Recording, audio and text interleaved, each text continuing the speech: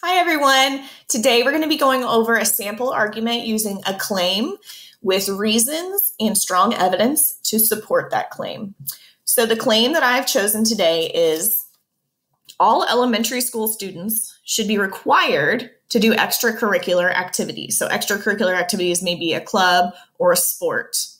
Um, so, this is something that I believe is true and that I want to convince you is true as well. So, I can't really convince you of this um, without giving you some reasons why I believe that this is true. So, my first reason I ask myself, why do I believe that? Well, I believe it because it helps children build essential life skills such as teamwork, time management, and goal setting and critical thinking.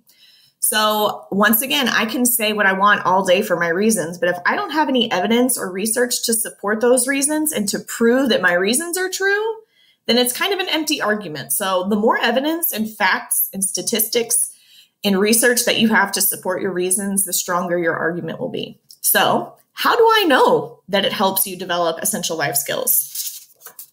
Well, my evidence says in a university study, they found that kids involved in after school activities were rated higher in these areas of life skills than kids who were not.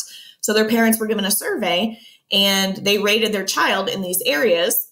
And the kids who played after school sports or did a, a team or a club had more of these life skills than kids who did not. So this, my evidence, proves my reason to be true. So, like any good argument, I have three, at least three major points. So, another reason that I believe all kids should play after school sports or activities is that it helps to relieve stress and anxiety. How do I know that it helps relieve stress and anxiety? I need something to prove that that's true. So, my evidence to prove it is that exercise and recreational activities, just means like fun activities, are proven to lower amounts of cortisol, which is the stress hormone in the human brain. So this is actual scientific fact that backs up my reason, proves it. Okay. Now, reason number three is that it allows students more opportunities when choosing middle schools.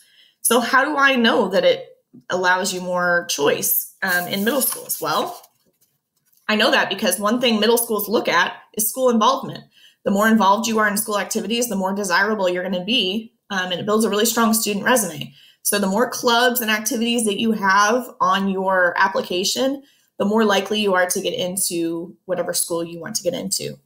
So I've given you three reasons, and for each reason, I have at least one piece of hard fact evidence to prove that that reason is correct. And then my conclusion is just summing it all up. Um, I restate my claim by saying all elementary school kids should be required to do extracurricular activities because, and then I restate my three reasons very short. Um, it develops life skills, relieves stress, and looks good on a student resume.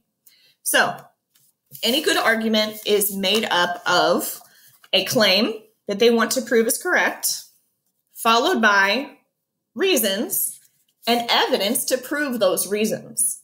So, the pattern that your writing should follow should be you state your claim very clearly. You take a position. Um, your your claim might be that all elementary school students should not be required to do extracurricular activities, but you better be prepared to give me a reason, or three reasons rather, backed up by hard facts and evidence as to why that is true. So before you choose a claim, which you guys have already chosen um, from last week, Make sure that you can prove it with three reasons and a piece of evidence for each reason that proves your argument is correct.